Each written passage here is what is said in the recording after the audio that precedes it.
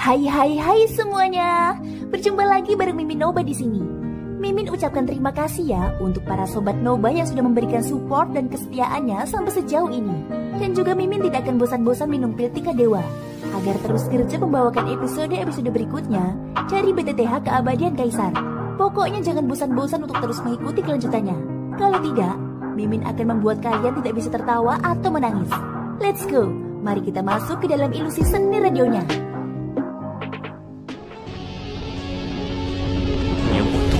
悉学识，受苦退魂丸。别说吧！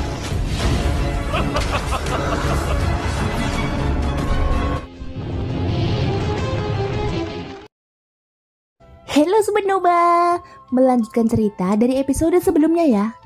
Pada saat ini kegembiraan dan keterkejutan melonjak di dalam hati Seoyan. Seoyan segera mengerti apa yang dimaksud dengan hal yang disebutkan Guyao. Itu adalah sesuatu yang dapat menekan api surgawi di dunia, yaitu cairan dingin roh es, energi terdingin di dunia. Cairan dingin roh es adalah bahan obat terpenting untuk memurnikan pil roh es. Pada saat yang sama, Cairan dingin roh es juga merupakan hal terpenting yang dibutuhkan Xiaoyan untuk menelan api surgawi. Xiaoyan awalnya mengira bahwa dengan kelangkaan benda ini, kemungkinan besar ia hanya akan memiliki kesempatan untuk mendapatkannya dengan pergi ke beberapa balai lelang berskala besar. Namun ia tidak menyangka bahwa harta karun alam semacam ini benar-benar ada di pedalaman pegunungan Silin. Tidak mengherankan jika angin dingin di pedalaman pegunungan Silin mampu menekan api surgawi yang paling dibanggakan Xiaoyan. Berdasarkan apa yang dikatakan Guyao, benda itu ada tepat di depan Xiaoyan. Mata Xiaoyan berbinar saat ia dengan cepat menyapu langit di sekitarnya. Ia merasakan angin dingin bersiul melewati penghalang api surgawi. Pendapat awalnya tentang bahaya angin dingin ini juga telah berubah. Jika sebelumnya angin dingin ini dapat digambarkan sebagai racun yang mematikan bagi Xiaoyan, sekarang angin dingin ini adalah pil obat ajaib yang dapat menghidupkan kembali daging dan tulang seseorang. Pil roh es adalah pil obat penting yang berhubungan dengan kemampuan Xiaoyan untuk menelan api surgawi. Cairan dingin roh es adalah bahan utama yang paling penting. Hati Xiaoyan secara alami menganggapnya sangat penting. Pikiran Xiaoyan tiba-tiba bergetar tanpa berkata apa-apa. Doki dalam tubuhnya melonjak liar saat ini. Dia melambaikan tangannya yang besar dan kekuatan hisap yang menakutkan berkumpul liar di telapak tangan Xiaoyan. Angin dingin di sekitarnya juga tertarik oleh kekuatan ini dan dengan cepat berkumpul menuju tangan yang telah diulurkan Xiaoyan. Setelah dimurnikan secara liar oleh api surgawi, angin dingin yang dihisap ke telapak tangan Xiaoyan berubah menjadi tetesan air yang sangat kecil yang tersubstansi dalam api surgawi. Meskipun kekuatan api surgawi itu menakutkan, tetesan air kecil ini mampu bertahan pada suhu tinggi api surgawi selama beberapa tarikan nafas sebelum secara bertahap diuapkan. Melihat pemandangan ini, kegembiraan liar langsung muncul di wajah Xiaoyan mampu memiliki kemampuan mengendalikan api yang menakutkan, tetesan air ini jelas merupakan cairan dingin roh es. Xiaoyan segera melambaikan tangannya setelah membuat keputusan ini di dalam hatinya. Seketika kekuatan hisap yang liar dan dahsyat berkumpul di ruang kosong di depan Xiaoyan.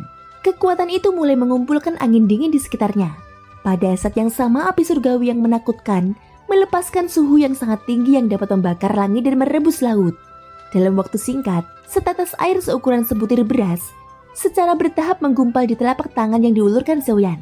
Meskipun kecepatan pemurniannya bisa dikatakan seperti setetes air dalam ember, hati Xiaoyan masih terasa sangat bahagia saat ini. Hahaha, apakah kamu yakin memulainya seperti ini? Ekspresi Xiaoyan tanpa sadar menjadi terkejut saat dia merasakan penghinaan yang terpancar dari dalam kata-kata Guyao. Baru pada saat itulah dia menarik Doki yang telah melonjak keluar dari tubuhnya. Dia mengerutkan kening dan bertanya pada Guyao. Kutua, ada apa? Apakah ada yang salah? Tanya Xiaoyan. Bocah bau, tidak ada yang salah dengan apa yang kau lakukan. Tapi ingat, lain kali kau harus mendengarkan apa yang dikatakan orang tua ini terlebih dahulu sebelum bertindak. Kalau tidak, kau akan menderita kerugian besar. Ucap Guyao. Xiaoyan merasa semakin bingung saat mendengar tawa Guyao. Alasan mengapa orang tua ini mengatakan bahwa cairan dingin roh es ada di depanmu adalah karena cairan dingin roh es ada di dunia ini. Tentu saja prasyarat untuk keberadaan ini adalah cairan itu telah diencerkan berkali-kali. Ucap Guyao. Xiaoyan mengangkat alisnya saat mendengar kata-kata Guyao. Tanpa sadar dia memikirkan sesuatu di dalam hatinya. Guyao tersenyum dan terus berbicara. Bahkan jika semua cairan dingin roh es di dunia ini ditambahkan bersama-sama, Kemungkinan jumlahnya kurang dari satu persen dari jumlah total. Tidak mungkin sejumlah kecil cairan dingin roh es mampu mengubah dunia ini menjadi dunia es dan salju. Oleh karena itu pasti ada sejumlah besar cairan dingin roh es di bagian dalam silin, yaitu mata air dingin roh es. Ucap Guyau. Wajah Xiaoyan langsung berubah menjadi sangat terkejut setelah mendengar kata-kata Guyau. Mata air dingin roh es adalah harta karun alami yang dapat membuat para ahli di seluruh benua tergila-gila padanya. Hehehe, daripada memurnikan kurang dari satu persen dari cairan dingin roh es ini, mengapa kau tidak mencoba menemukan mata air dingin roh es? Kau harus mengerti bahwa selama kau menemukan mata air dingin roh es, cairan roh es yang terkandung di dalamnya akan puluhan atau bahkan ratusan kali lebih banyak dari jumlah total di sini. Selain itu, kemurnian cairan tersebut akan memungkinkanmu untuk langsung menggabungkannya menjadi pil obat. Apakah kedua pilihan itu baik atau buruk, tergantung pada yang mana yang kau pilih. Kuyau menjelaskan sambil tertawa. Lagi pula lelaki tua ini secara kasar dapat merasakan lokasi mata air dingin Roes.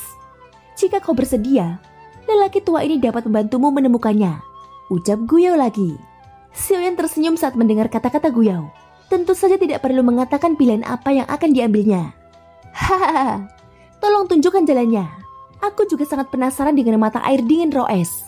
Xiaoyan menarik pandangannya dan berbicara dengan hormat kepada Guyau. Hahaha, baiklah. Kalau begitu, mari kita lanjutkan berjalan. Jika orang tua ini merasakan dengan benar, mata air dingin Roes seharusnya berada tepat di depanmu. Kali ini kau dapat menggunakan kekuatan orang tua ini. Lagi pula tempat ini dekat dengan area pusat silin. Angin dingin di sana cukup untuk merenggut nyawamu. Guyau berbicara dengan nada serius. Sebuah pikiran terlintas di benaknya, dan Doki yang menakutkan segera muncul dari pusaran di dalam tubuh Xiaoyan. Xiaoyan meminjam doki ini untuk dengan cepat meningkatkan auranya ke tingkat yang sangat menakutkan. Tubuh Xiaoyan bergerak dan langkah musnah langit dilepaskan. Angin sejuk bertiup di langit. Pada saat berikutnya, tubuh Xiaoyan sudah muncul di cakrawala. Kutua, aku masih punya pertanyaan yang ingin kutanyakan padamu. Ucap Xiaoyan. Dengan bantuan Guyao, Xiaoyan dapat mengabaikan angin dingin di sekitarnya. Api surgawi berwarna putih pekat menyebar dari matanya. Angin kencang menyebabkan rambut putihnya yang panjang berkibar. Ah, apa pertanyaannya? Coba saya dengar. Ucap Guyao. Aku sangat penasaran. Ketika kamu pertama kali tiba di wilayah barat, kamu tidak sepenuhnya menyembunyikan auramu, bahkan ketika menghadapi para pemimpin sekte dari empat sekte besar. Mengapa kamu tiba-tiba menghilang ketika bertemu wanita itu? Ucap Soyan. Bocah, jangan bilang kau benar-benar memperlakukannya seperti wanita biasa. Kata-kata Xiaoyan baru saja terdengar ketika gue dengan cepat memotongnya. Kata-katanya mengandung kegaguman terhadap Bing Suang. Haha, Patuagu, apakah aku terlihat seperti orang yang hanya peduli dengan penampilan? Xiaoyan hanya menggelengkan kepalanya sambil tersenyum. Ya, terlepas dari apakah kamu benar atau tidak, kamu tidak boleh meremehkan kekuatan gadis itu. Bukannya aku ingin mengatakan ini, tetapi para pemimpin sekte dari empat sekte besar bukanlah apa-apa di mata wanita itu. Guyau berbicara dengan lembut. Tubuh Xiaoyan yang awalnya melesat maju dengan cepat, kembali terhenti di udara. Xiaoyan tentu saja mengerti perkataan Guyau. Jika Guyau bisa mengatakan ini, kekuatan sejati Bing Suang pasti jauh melampaui para pemimpin sekte dari empat sekte besar. Karena jauh melampaui mereka, kekuatan Bing Suang setidaknya berada di tahap transformasi asal. Dengan bantuan kekuatan Guyau, Xiaoyan mampu bergerak menembus angin dingin tanpa hambatan apa pun. Di bawah suhu api dingin tulang yang sangat tinggi, Angin dingin itu bahkan tidak memiliki kesempatan untuk mendekati Xiaoyan. Angin itu terisolasi di ruang kosong 100 kaki jauhnya dari Xiaoyan. Kecepatan Xiaoyan bergerak maju berkali-kali lipat lebih cepat dari sebelumnya. Xiaoyan muncul di awan yang remang-remang dalam beberapa jam. Awan di langit sangat padat. Di tempat ini, jika orang biasa melihat dengan mata telanjang, mereka tidak akan dapat melihat dengan jelas lebih dari satu meter jauhnya. Ketika angin dingin tulang putih pekat menyelimuti mata Xiaoyan, Dunia di bawahnya berangsur-angsur menjadi jelas. Di bawah awan, ada dunia es yang tertutup salju. Lapisan salju yang tebal menandakan kehancuran tempat ini. Karena cahaya redup, salju di tanah tampak abu-abu. Sekilas orang bahkan tidak akan bisa mengenali bahwa itu adalah salju. Jika orang awam melihat pemandangan ini, kemungkinan mereka akan mengira ini adalah gurun. Xiaoyan yang berada tinggi di langit, tanpa sadar mengerutkan kening ketika dia melihat pemandangan di bawah ini. Bahkan dia tidak percaya bahwa ini adalah lokasi mata air dingin roh es hanya dengan melihat pemandangan yang sunyi ini. Kutua, apakah kau yakin kalau di sinilah letak mata air dingin roh es? Ucap Soyan. Anak kecil, tenang saja. Persepsi orang tua ini tidak akan salah. Di sinilah memang letak mata air dingin Roes. Kuyau terkekeh dan berbicara dengan nada yang sangat yakin. Meskipun demikian, kerutan di dahi Xiaoyan tidak berkurang. Matanya berputar saat dia bertanya kepada Guyo lagi. Namun energi dingin di dunia ini tidak jauh berbeda dengan tempat lain. Aku sama sekali tidak bisa merasakan aura yang berbeda. Kecuali mata Xiaoyan tiba-tiba menyipit setelah berbicara. Kilatan terang melintas di matanya yang putih pekat. Hehehe, tebakanmu benar. Meskipun mata air dingin Roes tidak berada di tanah bersalju ini, namun berada di bawah tanah bersalju. Selama seseorang dapat memasuki tanah, seseorang akan dapat melihat mata air dingin Roes. Titik ini mirip dengan retakan di dinding timur, yang juga berasal dari bawah tanah. Mengenai sumber angin dingin, orang tua ini yakin bahwa itu adalah mata air dingin Roes. Kuyau perlahan-lahan mulai menghilangkan candaannya saat ini. Nada bicaranya serius saat berbicara kepada Xiaoyan. Wajah Xiaoyan sekali lagi menampakkan ekspresi panas membara setelah mendengar perkataan Guyao. Sebuah pikiran terlintas di benak Xiaoyan dan doki dalam tubuhnya segera berkumpul di telapak tangannya. Tubuhnya berkelebat dan muncul di udara di atas tanah bersalju. Dia mengangkat telapak tangannya dan melengkungkan jari-jarinya menjadi cakar saat dia dengan kejam menebas tanah bersalju di bawahnya. Namun saat cakar Xiaoyan hendak mendarat, Guyo yang ada di dalam tubuhnya tiba-tiba berbicara dan dengan paksa menghentikan Xiaoyan. Tunggu! Cakar yang hendak mendarat tiba-tiba berhenti di udara. Ekspresi wajah Xiaoyan tanpa sadar berubah. Dia mengerutkan kening dan bertanya kepada Guyo dengan suara dalam. Pak Tuagu, ada apa? Tanya Xiaoyan. Bocah bau, sebelum kau bertindak, ada sesuatu yang perlu kukatakan padamu. Mata air dingin roh es di sini jelas sudah ada pemiliknya. Jika kau bertindak tanpa izin, Aku khawatir kau akan diburu oleh pemilik mata air dingin Roes. Sebaiknya kau pikirkan baik-baik. Nada bicara Guyao sedikit serius. Apakah wanita itu bernama Bing Suang? Tanya Xiaoyan. Bagaimana menurutmu? Ucap Guyao. Mata Xiaoyan tanpa sadar mengeras setelah mendengar ini. Jika memang begitu, masalah ini mungkin akan merepotkan. Dianggap sebagai musuh oleh seorang ahli transformasi asal, jelas bukan masalah kecil bagi siapa pun terutama Xiaoyan yang telah menjalin dendam dengan empat sekte besar.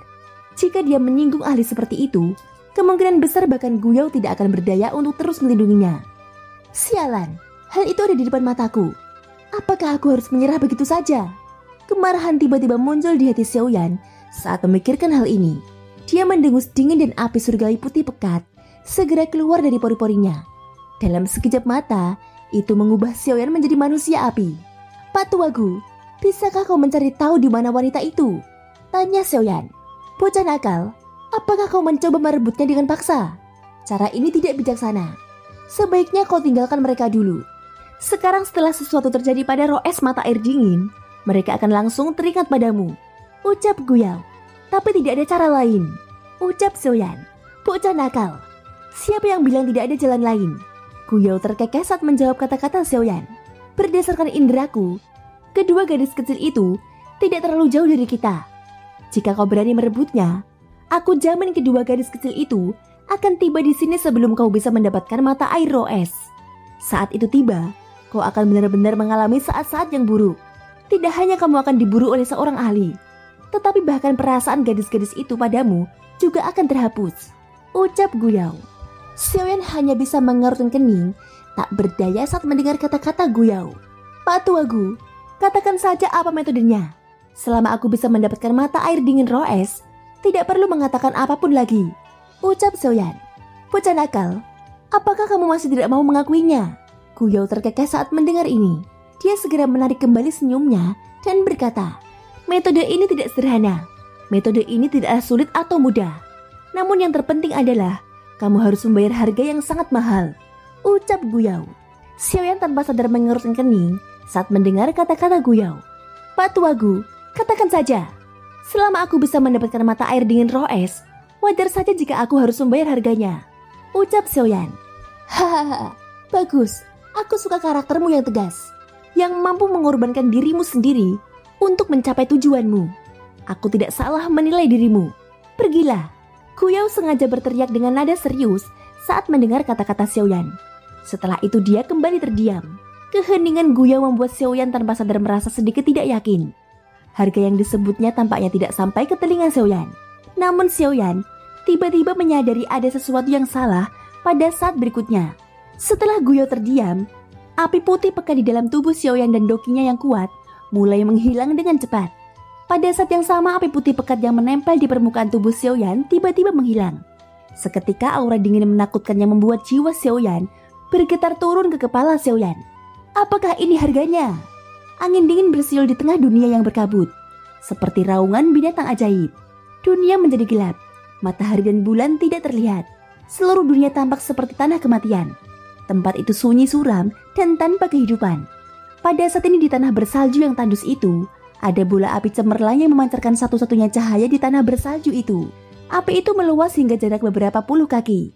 Jika dilihat dari kejauhan, api itu tampak seperti bintang yang berkelap-kelip di awan. Hanya jika seseorang cukup dekat, kita dapat melihat penampakan api itu dengan jelas. Cahaya api itu cemerlang dan berwarna-warni. Cahaya yang cemerlang itu terpantul di salju di sekitarnya, menyebabkan salju yang tadinya gelap dan suram menjadi cemerlang dan berwarna-warni.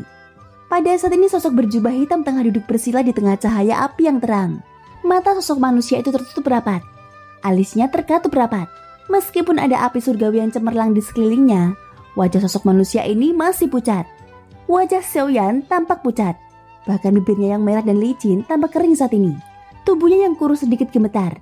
Udara yang sangat dingin di udara menyebabkan aura Xiaoyan menjadi semakin lemah. Jika terus begini, dia akan benar-benar membeku di tempat ini oleh angin dingin yang menunggu kesempatan untuk menyerang dalam waktu kurang dari 15 menit. Saat doki yang tersisa di dalam tubuh Xiaoyan semakin menipis, api surgawi di sekitar tubuh Xiaoyan juga semakin redup. Angin dingin di dunia luar juga semakin kuat saat kekuatan api surgawi melemah. Pak Tuagu, cara macam apa ini? Kalian hanya mencoba mengambil nyawa junior ini. Ucap Xiaoyan dengan tak berdaya.